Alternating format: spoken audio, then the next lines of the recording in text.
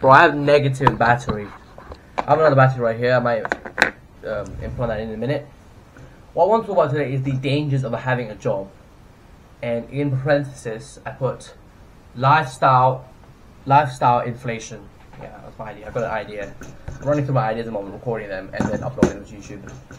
The danger of having a job is that in a job you can often become incredibly complacent. Incredibly so.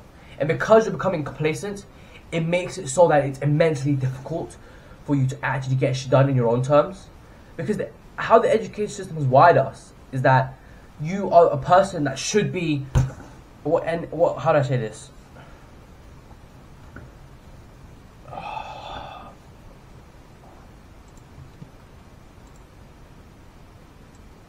that should be listening to, listening to instructions, that should be complacent, compliant, listening to the boss, always listen to someone higher than you. And this often makes it so when we become adults, it's incredibly difficult for us to actually focus on the things that we need to focus on our own little side hustle, our own little business, our own little YouTube channel. It, it because of the education system, and I'm not telling you to drop out high school like I did, drop out college like I did.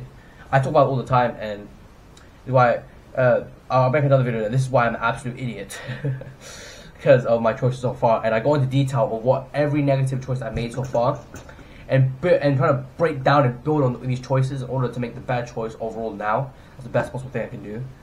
But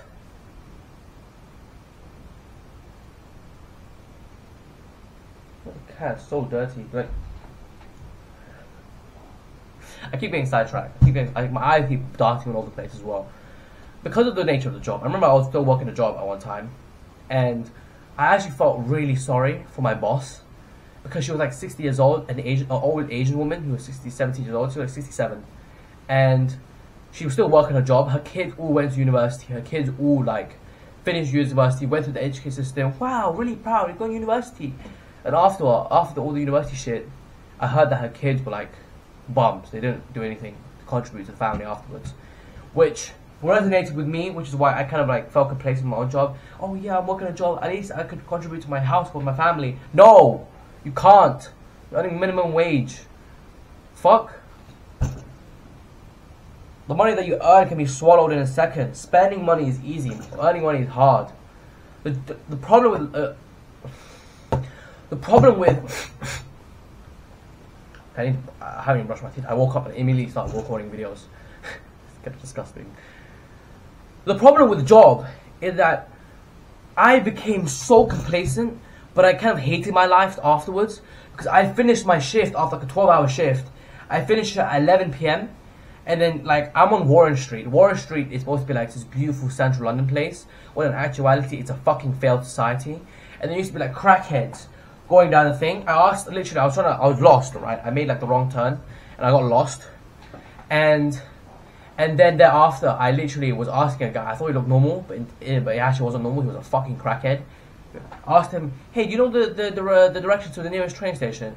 And he was like, and I was like, "Bro, I'm fucked." Like this guy, and then he kept going close to me, and you know what I did? I did the smartest thing on the chessboard. I fucking, I didn't sucker punch him. I didn't do any violence. I just ran the fuck away. I ran the fuck away. I don't want to be involved with any of that shit. I don't want to be near him. I don't want him to be near me. Fuck out of here. I just ran. Then I got to the other bus stop, and then not the bus stop, the other train station, other train station, and the commute home was depressing. The commute, everything was depressing about that shit. I cannot describe to you the amount of depressing, expressing emotions I felt. That time,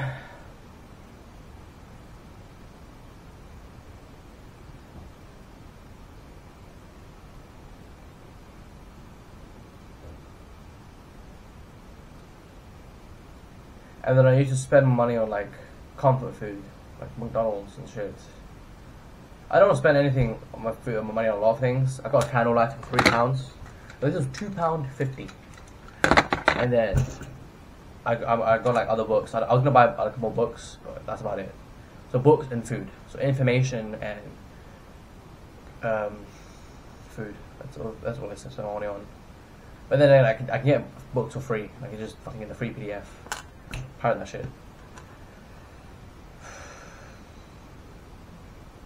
But I don't like pirating books because I like actual paper instead. So I was gonna buy all the all the books that I um, am reading at the moment. I'm gonna buy it on my Kindle, which is broken. So my Kindle's broken right here.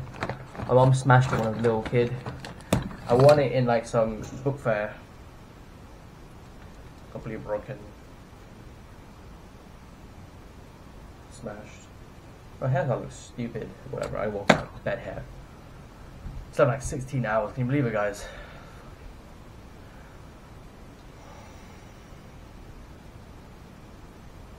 I actually don't want to go back to a job. It's kind of like entitled to say, but I still have to get a job. Considering the place I am now, but I don't want to go back to get a job. It's quite depressing.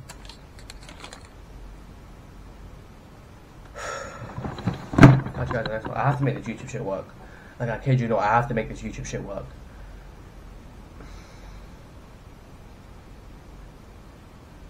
Catch you guys in the next one. Peace.